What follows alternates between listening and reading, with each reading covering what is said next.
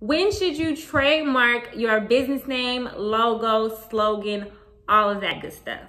My recommendation is that you do it before you launch your business, before you invest in anything with that business. And the reason is because one, it might be someone else's trademark. Two, it may be a lot of people using that name to the point where you can't get trademark registration. Or it might be um, just a name that can't actually be trademarked because not all names can be trademarked. There's a lot of different reasons why you should go ahead and register before you launch. You don't want to invest all of this money in a name that someone else owns or a name that you will never be able to own. Because let me tell you, honey, you say, oh, I'm a boss and I own a business, but you don't own nothing if you don't own your name. So I hate to say it to you like that, but you don't own anything if you don't own your name.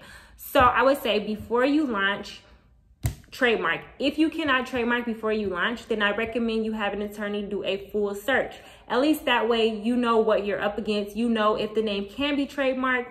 You know if anyone else has the name as a trademark. You know all these things.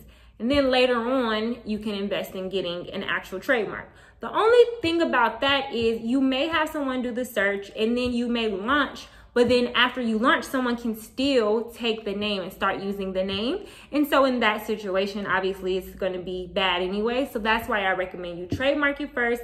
But if not, and if you don't want to make that investment, then at least just go ahead and get a search. So I hope this video was helpful for you. As always, if you like this video, leave a comment, like it. If you have a question, you can leave a comment. I will see you guys in the next video.